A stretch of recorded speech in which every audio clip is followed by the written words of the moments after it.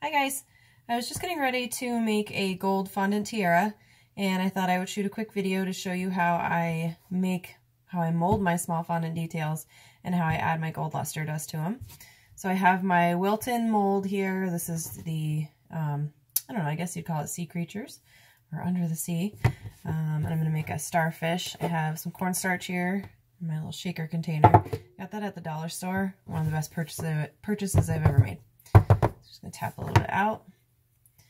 And I have my fondant that I've colored with golden yellow, orange, and a little bit of brown. I'm trying to make it sort of a gold color to make a foundation for the luster dust.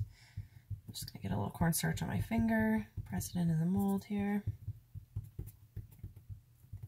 I like to use a rolling pin to really get it into all those little nooks and crannies of the design cornstarch on the back there. This is brand new fondant, so it's a little bit sticky, super fresh.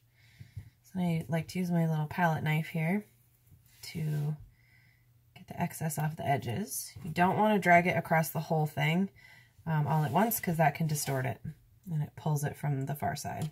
So I just sort of do a couple points at a time. Add that back to my ball here. And I'm just going to roll it out again. Sure it's all pressed into the edges.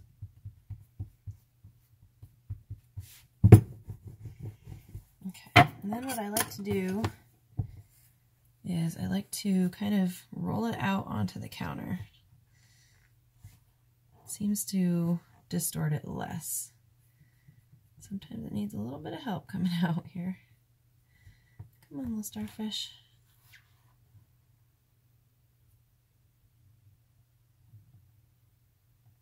Okay, there we go. So got my starfish. And then I have this um, takeout soup container here. And it has sugar pearls in it. These are just white sugar pearls that I added to it in pretty much a single layer. And then I added gold luster dust to it. Um, this is a variety of different luster dust. I've had this container going for a while now. Um, you can just save it and reuse it, put the cover back on and, you know, put it with your other supplies. Um, so I'm not sure which brands it is, but it's a, it's a nice mix of gold luster dust. So I'm going to take my starfish and I'm going to put it design side down on top of the pearls.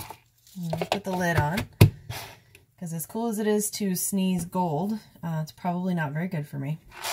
I'm just going to swirl it around. Might be kind of loud. Heads up if you're wearing head headphones.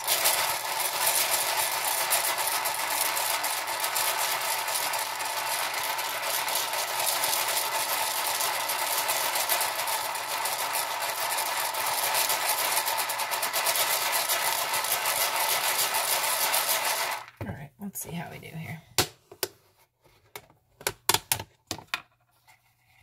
Poofing out. Oh yeah, that's a pretty good one. All right, so it's pretty evenly covered on there.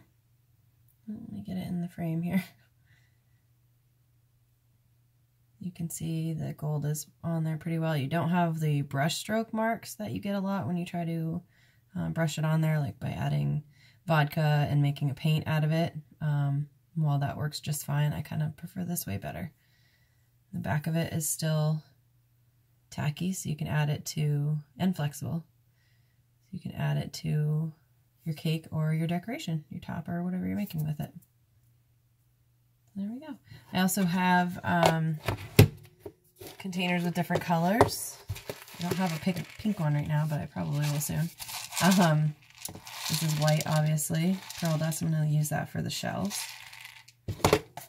It's a great trick for um, for letters, for small details like this that would be a pain in the butt to paint. You can put a whole bunch of them in here at the same time. Um, not not too many so that they're all stacked up and sticking to each other.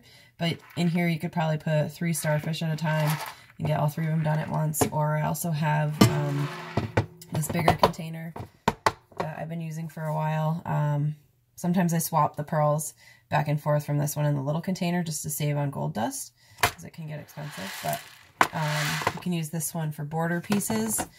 Like I might put this along the bottom edge of the tiara so I can make, I can mold this and then lay it right in this container kind of um, crooked and, or corner, diagonally, there we go, uh, corner to corner, swirl it around.